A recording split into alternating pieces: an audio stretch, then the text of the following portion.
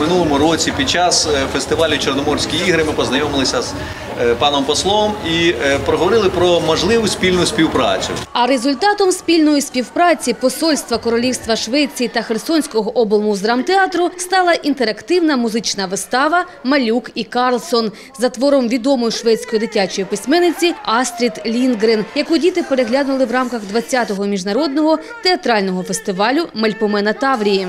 Что может быть приятнее, чем детский театр? Времена Украины переживают не самые простые, поэтому приятно, что можно таки, найти такие позитивные моменты, как сегодня, когда радовать детей. Надзвичайний та повноважний посол Королівства Швеції Мартін Хакстрьом на Херсонщині вже вчетверте. Цього разу завдяки сфері культури. Він звернув увагу на виставку, яка прикрашала фоє обласного палацу молоді та студентів. Це яскраві стенди з ілюстраціями найвідоміших творів шведських дитячих письменників. Детская литература, детская культура, это может быть интересно и детям, и взрослым.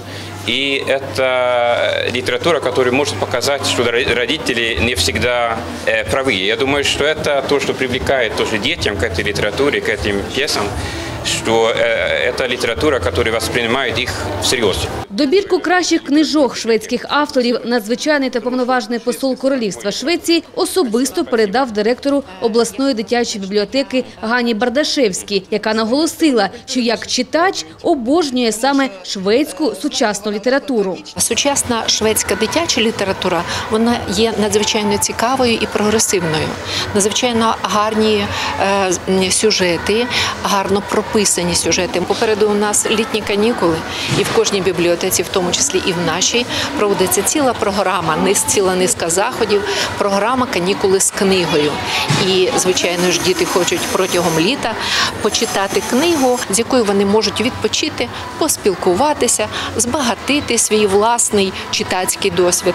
І тому, звичайно, ці книги, які ми зараз отримали, вони знайдуть свого читача. Через культурні зв'язки до подальшого економічного співробітництва. Голова Херсонської обласної ради Владислав Мангер нагадав, що після анексії Криму одними із перших інвестицій в Україну була допомога зі Швеції. На сьогодні вже зроблені перші кроки у надважливій місії у нашому регіоні.